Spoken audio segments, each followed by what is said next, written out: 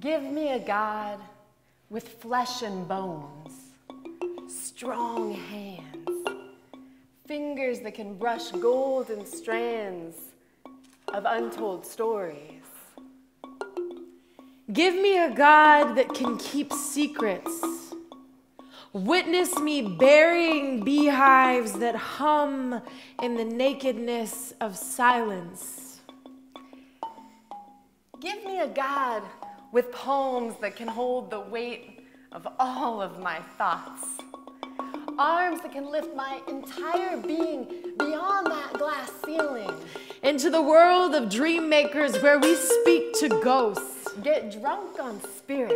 Raise our glass to a history we are proud to call our own.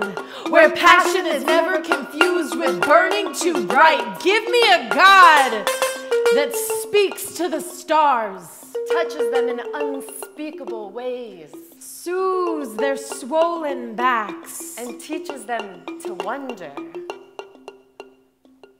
Give me a God that will sweep the glass, wipe the spills, that will let me come undone. Tell me I am enough.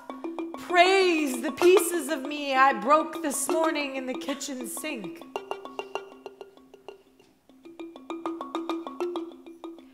Give me a God that can play me like a six string guitar, cradle the crook of my neck, and finger the soft folds of my secrets.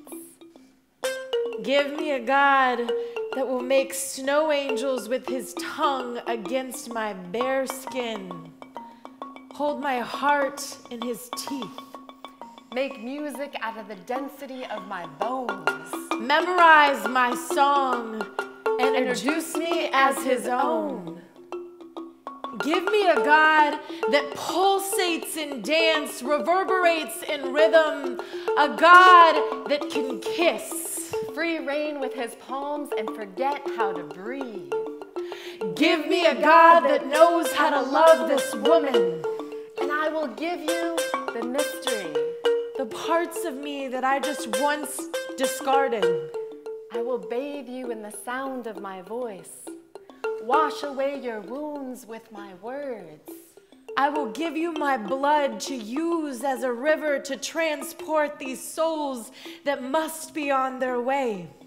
And I will give you my hands, both of them, to serve you in a sacrificial sequence of resuscitation.